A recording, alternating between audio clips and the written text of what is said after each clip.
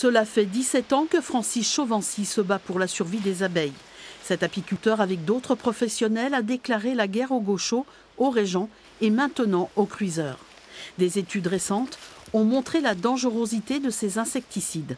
Aujourd'hui, le ministre de l'Agriculture, Stéphane Le Foll, vient d'interdire l'utilisation du cruiseur.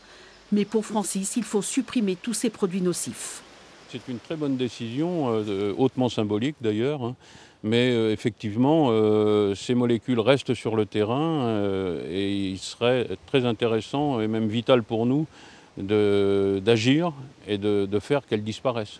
Hasard de l'actualité, même l'Europe s'intéresse au sort des abeilles. Sandrine Bellier, députée européenne, membre de la commission environnement, est venue sur le terrain. S'inquiétant du fort taux de mortalité des abeilles, le Parlement européen a voté fin 2011 une résolution pour préserver l'espèce. Le dossier est aujourd'hui bloqué à la Commission européenne. Sa principale objection, c'est de dire mais euh, nous n'avons pas assez de recul, il faut faire des études. Ce à quoi les parlementaires répondent très bien, faites les études le plus rapidement possible, appuyez-vous sur les études qui existent déjà, et vous verrez que le lien entre un certain nombre de pesticides comme le gaucho, cruiser, etc., et la mortalité des abeilles est bel et bien établi.